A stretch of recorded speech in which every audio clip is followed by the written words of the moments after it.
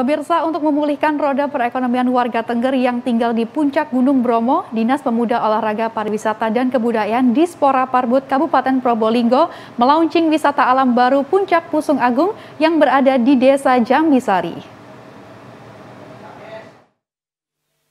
Launching wisata alam baru Puncak Pusung Agung ditandai dengan bersepeda menuju lokasi Puncak Gunung Bromo di Desa Jambisari, Kabupaten Probolinggo, Minggu 12 Desember 2021. Goes dilakukan Kepala Dinas Pemuda Olahraga Pariwisata dan Kebudayaan Sugeng Wianto bersama dengan pejabat di Dispora Parbut. Sugeng Wianto mengungkapkan ia sengaja bersepeda sebelum launching wisata alam Puncak Pusung Agung agar warga atau wisatawan datang ke tempat wisata dengan menggunakan sepeda. Karena dengan bersepeda dapat menghemat biaya sambil melihat keindahan alam puncak Pusung Gunung Bromo. Sementara untuk menarik wisatawan datang ke lokasi wisata Puncak Pusung di Spora Parbut Kabupaten Probolinggo nantinya akan menggandeng para petani lokal suku Tengger. Hal ini dimaksudkan agar wisatawan yang datang bisa memetik tanaman hasil panen tanpa mengurangi harga hasil panen petani.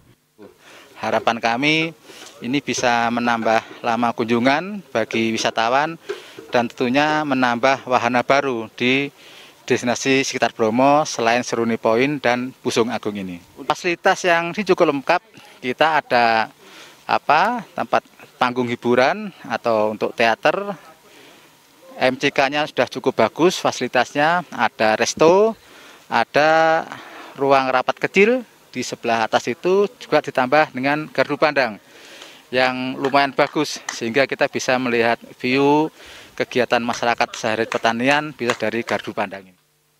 Sebagai ungkapan rasa berkabung terkait erupsi Semeru di Kabupaten Lumajang, dalam acara kali ini semua elemen yang terlibat dalam acara Jambore bersepeda untuk berdoa bersama di atas puncak Pusung.